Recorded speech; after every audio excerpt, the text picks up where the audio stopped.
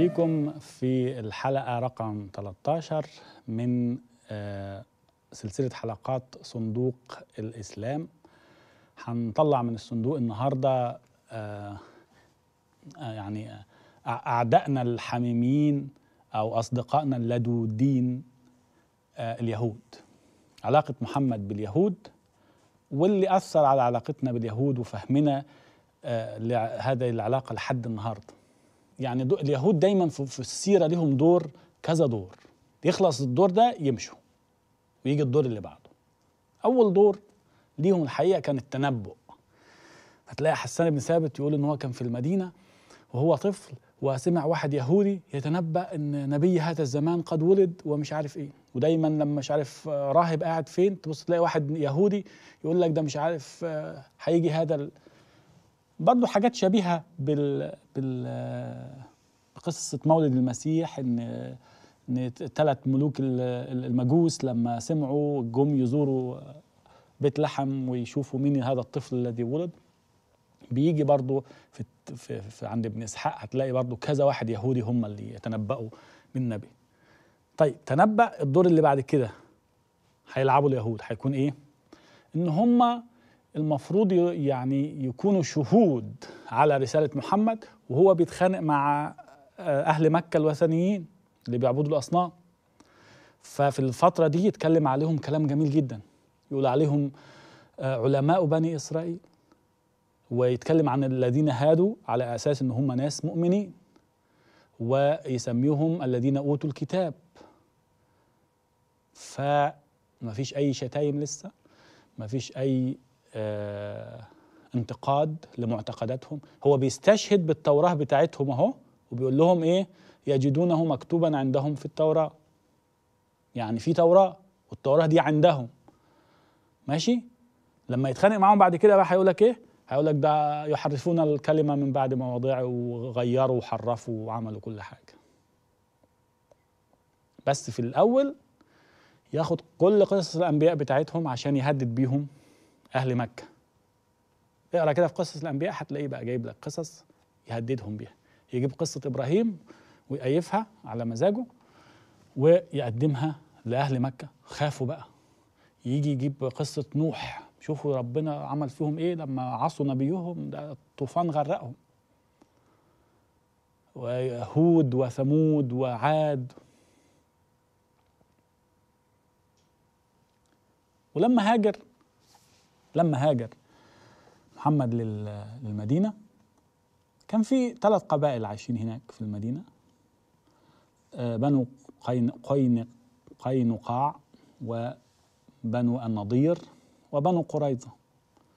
الثلاث قبائل دول كان هم يعني أساس المدينة.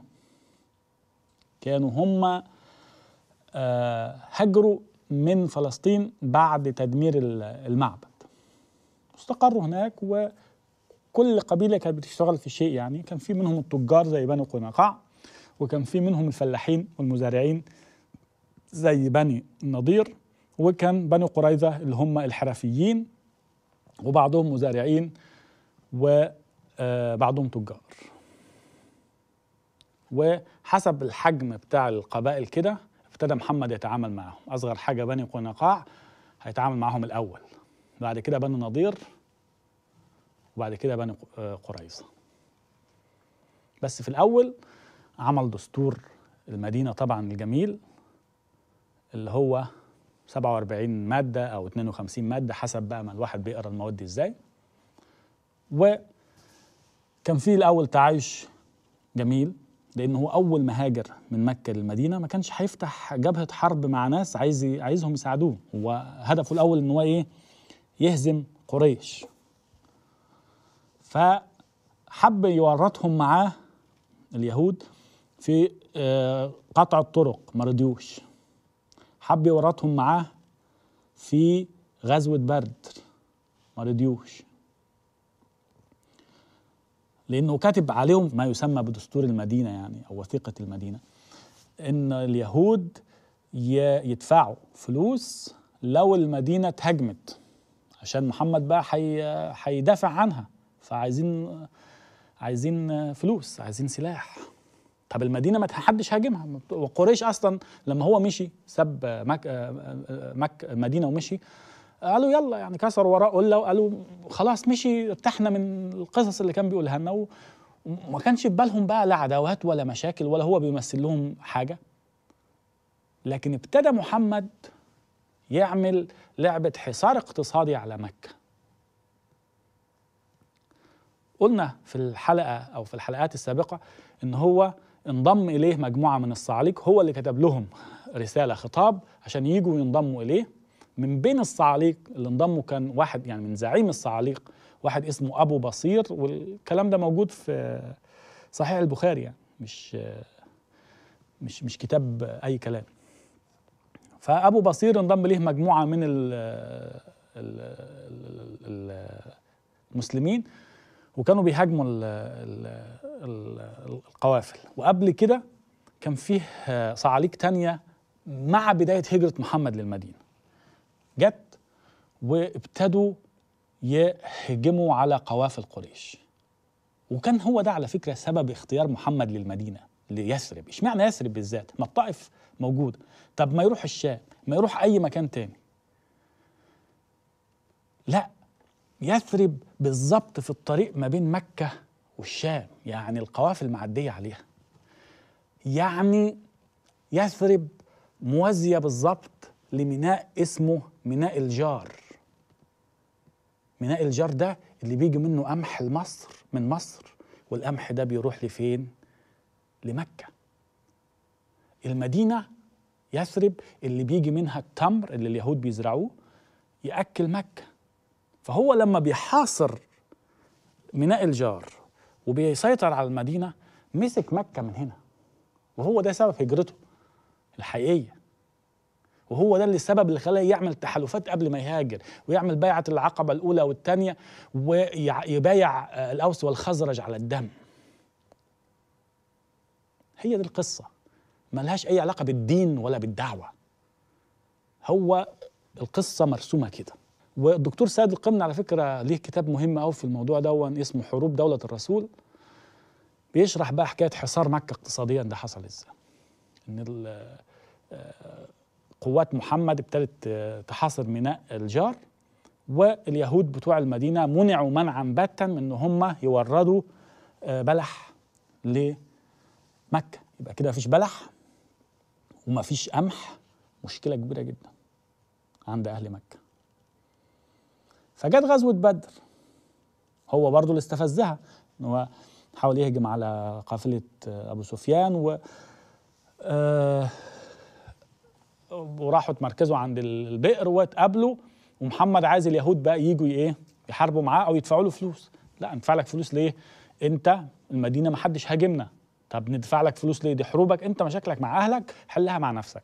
إحنا اليهود كانوا عايشين من الحياد دون لأن هم ما فيش غير هم الثلاث قبائل اليهودية والتانيين كلهم عرب. لو بدأوا يحاربوا مع قبيلة واحدة من العرب هيروحوا في 60 داهية. خاصة إن الأوس والخزرج نفسهم اللي في المدينة نفسهم يطلعوا اليهود من المدينة. فهم كانوا بيحاولوا يمشوا جنب الحيط لكن محمد كان بيحاول بشتى الطرق إن هو يورطهم في حروبه مع قريش. فهم لما رفضوا. دايما لاحظ محمد لما كان يعمل غزوة مع قريش يرجع يطرد قبيلة يهودية دايما بهذا الترتيب. يعني بعد غزوة بدر على طول راح رايح على يهود بني قينقاع وطردهم من المدينة. طب طردهم ليه؟ عملوا إيه؟ يقول لك كان فيه امرأة مسلمة عند سايغ يهودي في المدينة. فجاء رجل يهودي ومش عارف ونزع عنها حجابها وربط ثوبها فتعرت فجاء رجل مسلم غيور وقتل اليهودي. فاجتمع مش عارف رجل يهودي آخر وقتل المسلم. طيب ما خناقة. خناقة ممكن تحصل في أي مكان. إيه اللي يخليك تطرد قبيلة كاملة؟ القصة دي بتستخدم بقى في السياق بتاعنا الحديث دون لاكثر من سبب يعني في أكتر من توظيفة ليها كده. أول حاجة توظيفة اليهود اللي هم هم من ساعة ربنا ما خلقهم وهم بيحاولوا إن هم يك- يكشفوا عورة المسلمين ويعني يطعنوا شرف المسلمين و وبيعملوا أفلام هوليود عشان يخلوا المسلمين آه، يعني يلهوهم عن الصلاة وعن الإيمان كأن هوليود اتأسست عشان خاطر المسلمين. مهمين قوي المسلمين دول. والتوظيفة التانية طبعا توظيفة الحجاب. أختاه. خلي بالك من حجابك اليهود عايزين ينزعوه. أختاه. هذا هو هو بقى ال- ال- الفكرة من قصة بنو قينقاع. في حد تحصل خناقة في محل تطرد قبيلة كاملة بسببها؟ ده منطق؟ يعني واحد طب ما لنفرض إن القصة حصلت بتفاصيلها زي ما هي بيحكوها كده. طيب هات الراجل اللي عمل بتاع دون يا إما يدفع عدية الراجل اللي قتله يا إما يت- يتحاسب يا إما يت... يا إما الراجل نفسه يعاقب. لكن أنت تعاقب حد قوم عقاب جماعي عشان واحد عمل حاجة؟ لا هي تلكيكة. هي تلكيكة. ليه تلكيكة بقى؟